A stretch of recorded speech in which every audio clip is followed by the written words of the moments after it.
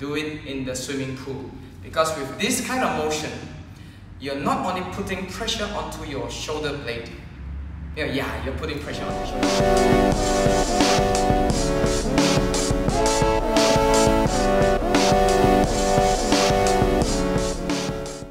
Hi everyone, welcome back to my channel where I share honest information about fat loss and fitness. I'm Bong and this is the second video about deltoids, your shoulder muscles.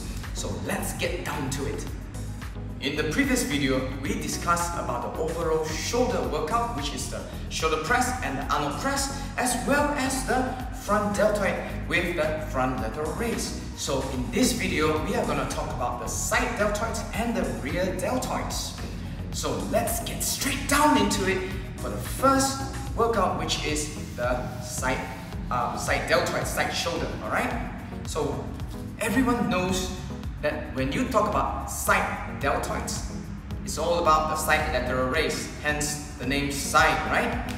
Okay, if you remember last video, we discussed about um, the form, the proper form. Okay, if you remember, please write down in the comments below what was it. Okay, now I'm not gonna pause here. Alright, so the first thing is a good footing, chest up, erect your chest, shoulder down, okay, roll your shoulder behind, alright, in order for you to not to not use your trapezius. Hold on to, to dumbbells, okay, remember, chest up, straight forward, and raise it to the side, okay?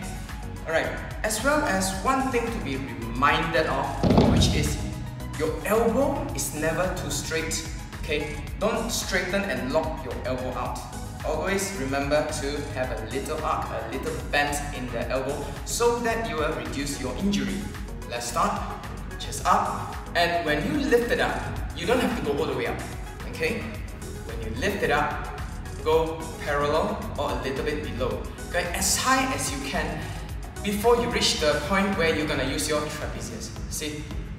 Okay? Before the point where you are gonna use your trapezius. So even if you are doing this, you're still working your side deltoids because the thing is, you're not using other muscle groups to kick in to help your workout your side lateral raise.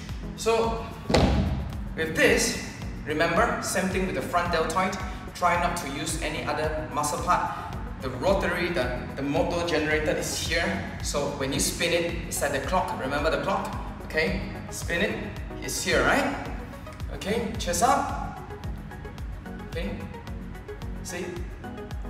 It goes to the side. Okay? So one thing as a pointer is your finger, your thumb is pointed downwards like you're trying to pour a kettle, a hot kettle of, a hot pot of water. A kettle of water, yeah. Okay? It's like as if you're pouring water from a pot. Okay, so you lift it up, make sure the elbow is bent, and the elbow is always higher than your wrist.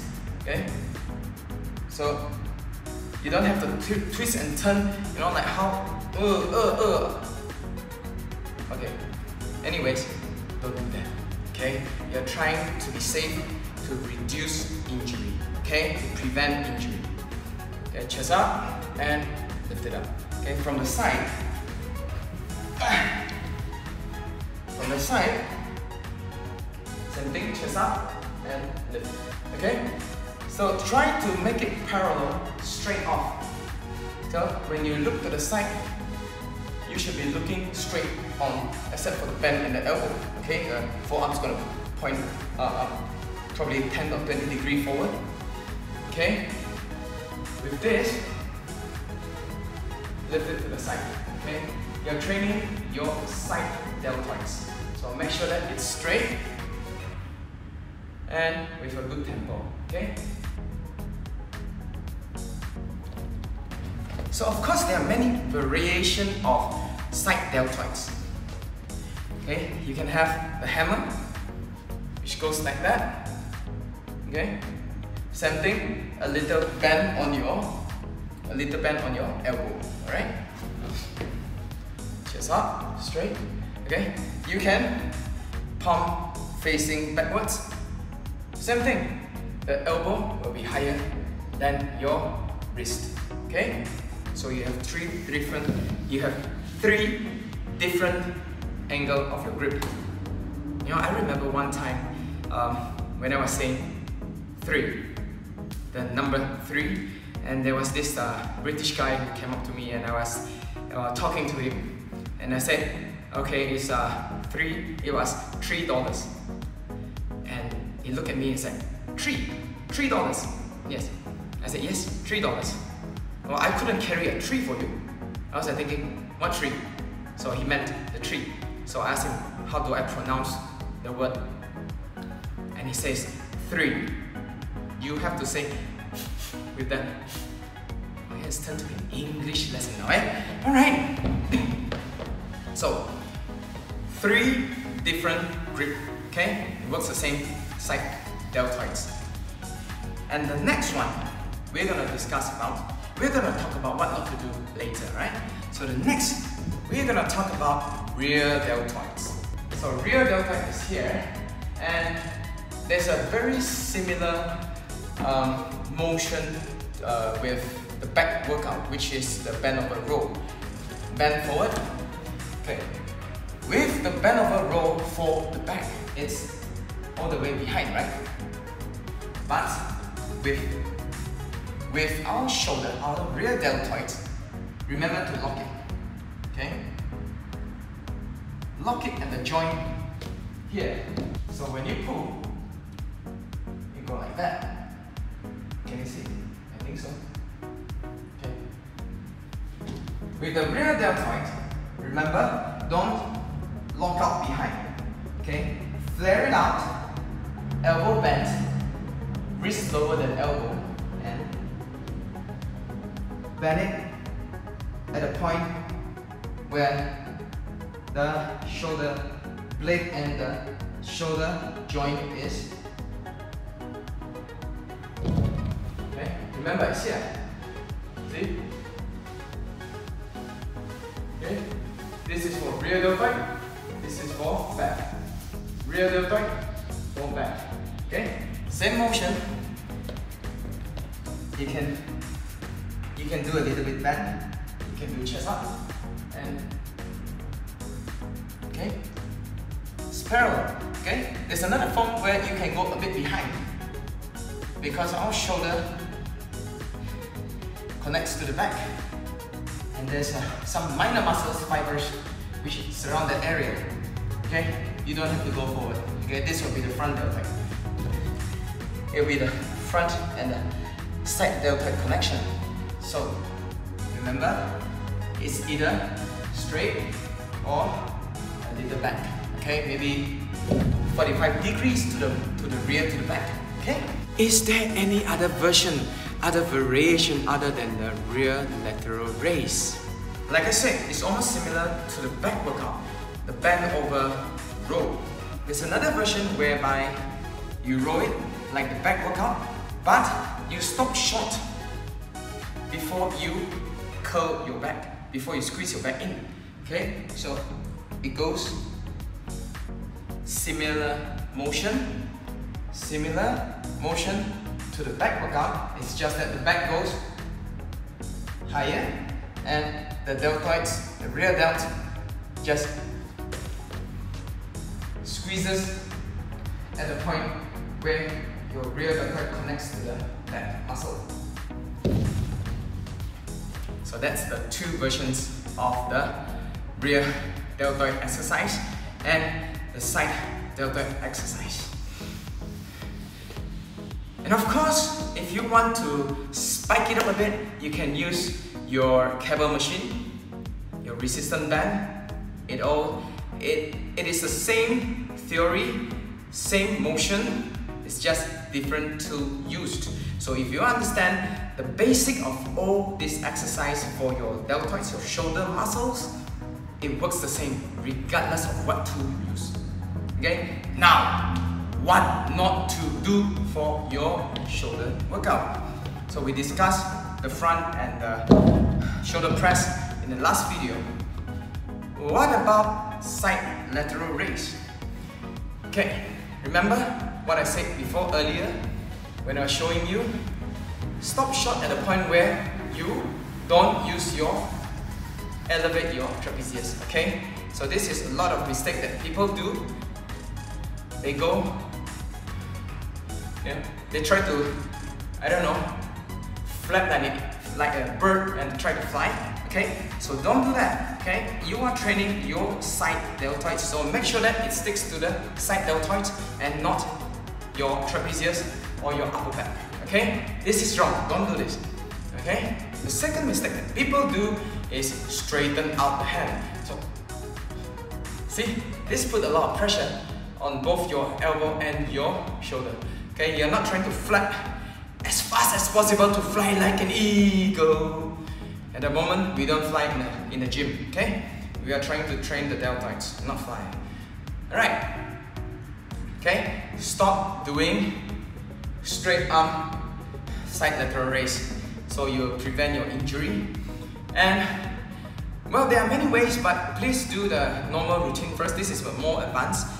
I rarely do this exercise because uh, you need to build a good foundation before you actually perform it. If not, you'll get injured.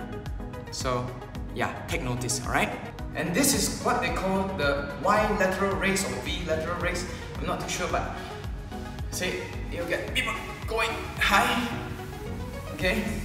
Of course, you'll be able to train your your shoulder muscles with this, but a lot of people who are not uh, well advanced at the advanced level, they end up using their lower back, their trapezius, their neck, and their upper back. Okay? What they do is they swing. See? And I, I don't know with what's with this, you know, chicken motion. Anyways, okay, don't do that, alright? See, what is that? Okay, the right motion for this one is you have to chest up, straight, bend your elbow, and use your shoulder. So this is for the more advanced level, but I'm putting this in the what not to do with the side lateral raise because many people who are not aware of this motion and when they found out about it, they end up doing it wrongly. So make sure that you fully understand the basic of side lateral raise before you start to get into wide lateral raise. Okay? And another motion which most people do wrongly for the side lateral raise. So I'm gonna do it slow-mo first. So when they lift and they couldn't lift any higher, they flare up. So this is the fast pace of it, the fast version of it. I don't know which part of muscle you're trying to do, your forearm or your wrist, okay? It doesn't work this way, okay? Remember, see, when you twist it up, see, you pull the stress, the pressure out of your shoulder muscles and into everywhere else, as well as your rear, rear deltoids and shoulders, and rear deltoids and low, uh, upper back, okay? So don't do this, okay? And uh, I don't know, I, I actually saw someone doing. don't do that. I, I, I'm speechless regarding that motion, but well, it's high in injury, it's, it's prone to injury, that motion. And as well as, yeah, people actually do this. I couldn't stress more that if you want to do that motion, do it in the swimming pool. Okay? Do it in the swimming pool. Because with this kind of motion, you're not only putting pressure onto your shoulder blade, yeah, yeah, you're putting pressure on your shoulder blade, and you're grinding it. And before, before your shoulder muscles is strong, you're grinding it for injury. And if you want to do that motion, go to the swimming pool because with swimming, with water, you don't put a lot of pressure onto it. Okay? Because it's just resistance from the water and you're not putting a lot of weight. You're not swimming dumbbells, right? Okay, so you want to do that motion, do it in the swimming pool. Another mistake for shoulder, I should have done this in the front lateral raise, uh, video, but I see people do this. Okay? This as well, this as well is similar to this swimming motion. Okay? People used to have a wheel stuck to the wall with very high uh, resistance against it and they are spinning it. The reason being, same thing. It's like you're taking a very heavy thing, you put it forward and you put a lot of pressure here. Unless of course you're doing this or you're doing this with your other muscles. So you're putting, you're pushing the, the actual exercise away from the targeted muscles. Okay? So if you do this, at the end of the day, you're gonna try to use your other muscles, your neck or whatever muscles surrounding that area to help you to support it. And you're putting, putting it at risk of injury. Okay, if you want to do the steering wheel, it's either you go and find a huge truck, you know, those really huge truck where there's no power steering and just spin it, okay? Or find, find a resistance band where you can do that or you tie it to the side and you try to, you know, so that you put the pressure out of your shoulder here, but you're actually training, it's a good exercise, okay? It's a good exercise, it's just that you have to put the right condition to each exercise to reduce injury. With rear lateral raise, it's very easy.